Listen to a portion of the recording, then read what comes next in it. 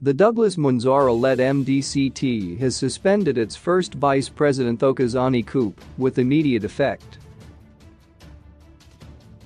In a statement this Thursday, MDCT Secretary for Information and Publicity Witness Dube said the party is investigating several allegations made against Khupe.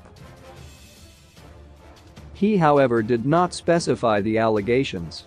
Below is the full statement by Dube. The MDCT wishes to advise that First Vice President Drive Thokozani Khupe has been suspended.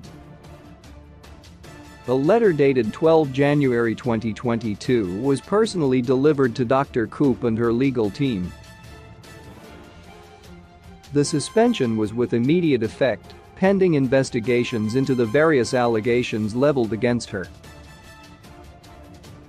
Investigations are being conducted by a team led by the party's arbiter general. The suspension is in line with the party constitution and as a result of certain issues that arose. Once the said issues are investigated and fully resolved, the party will communicate such. Khupe had earlier on Thursday announced that she would address a press conference on Friday